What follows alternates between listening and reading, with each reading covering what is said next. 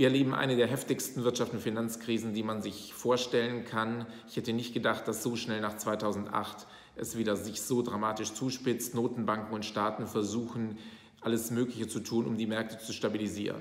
Und in dieser Situation gibt es jetzt Hedgefonds und andere Finanzmarktakteure, die versuchen, Gewinne zu machen bei fallenden Kursen, also von der Krise finanziell massiv zu profitieren.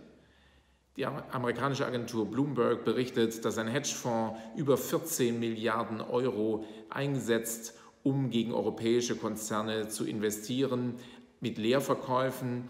Das heißt, man versucht, Aktien zu verkaufen, die man noch gar nicht hat, um sie sich erst dann zu besorgen, wenn man liefern muss, zu einem späteren Zeitpunkt, wenn die Kurse niedriger sind. Das ist eine übliche Strategie in den Märkten. Für viele Wertpapiere ist sie verboten seit den negativen Erfahrungen damit in der Finanzkrise nach 2008. Aber es gibt Bereiche, wo das immer noch möglich ist.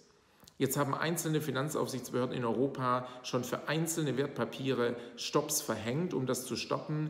Ich meine, die deutsche Finanzaufsichtsbehörde BaFin müsste hier jetzt endlich auch mal aktiv werden, weil das betrifft auch deutsche Unternehmen, die am Aktienmarkt notiert sind. Optimal wäre es, wenn unter Führung der europäischen Aufsichtsbehörde ESMA es jetzt ein generelles Stopp geben würde für Leerverkäufe. Es darf nicht sein, dass diese Krise zur Gewinnmaschine für ein paar wenige wird.